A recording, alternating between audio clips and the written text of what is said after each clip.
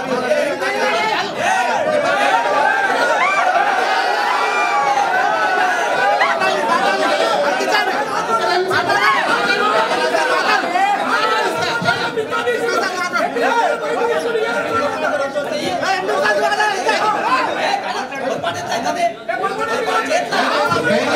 hey.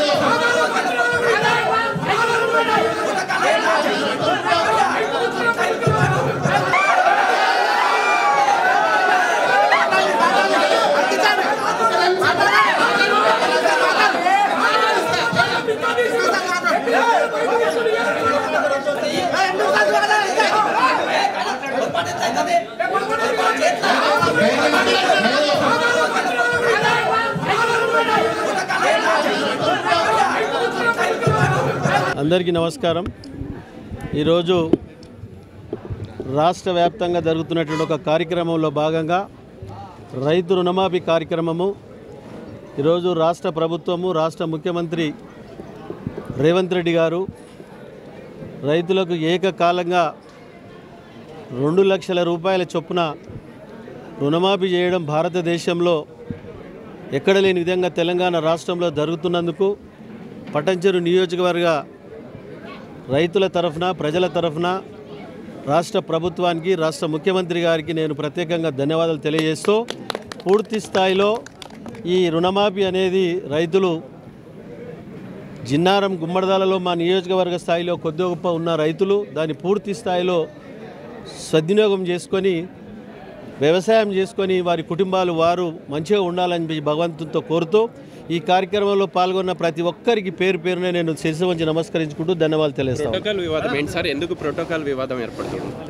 అందరినీ కలుపుకెళ్ళట్లేదా మైపాల్ రెడ్డి కాంగ్రెస్ వాళ్ళు? ఈ రోజే కదా భయ్. ప్రోటోకాల్ అంటే ఎవరు రారు ప్రోటోకాల్కి మరి?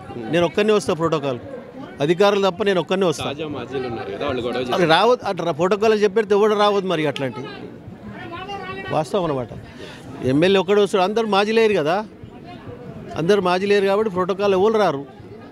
ఒక్కలే వస్తారు. కలుపుకెళ్ళడానికి సిద్ధంగా ఉన్నారు? అందరికి కలుపుకొని సిద్ధంగా ఉన్నాం. అందరికి ఫోన్లు చేసినాం. అందరికి మాట్లాడుతున్నాం. రాజకీయాల్లో మార్పులు చేర్పులు అనేది ఉంటాయి.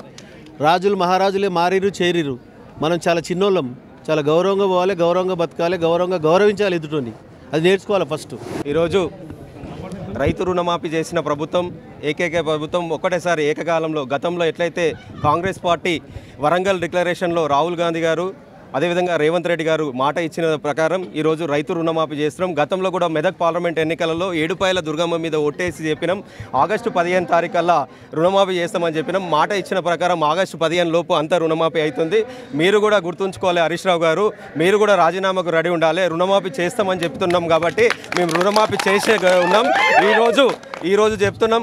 కాంగ్రెస్ పార్టీ ఇంతకుముందు గోపి అడుగుతారు కాంగ్రెస్ పార్టీలో ఉన్న ఎమ్మెల్యే గారైనా అందరికీ కూడా కలుపుకొని పోయి అందరికీ ఫోన్లు చేసి అందరూ ఒకటే తాటి మీద ఉండాలి. ఏదైనా ఉంటే కుటుంబంలో ఏదైనా ఉంటే ఇంట్లో మాట్లాడుకుంటాం. ఖచ్చితంగా అందరం కలుపుకొని పోతాం. రేపు రానున్న స్థానిక సంస్థ ఎన్నికలలో కూడా ప్రతి ఒక్క క్యాడర్ను పిలుచుకొని అందరం కూర్చోబెట్టుకొని వాళ్ళని కాపాడుకునే బాధ్యత ఎమ్మెల్యే గారు అనిల్ అన్న గారు మేము అందరం కూడా తీసుకొని మేము ముందుకు నడుస్తామని చెప్పి తెలియజేస్తాం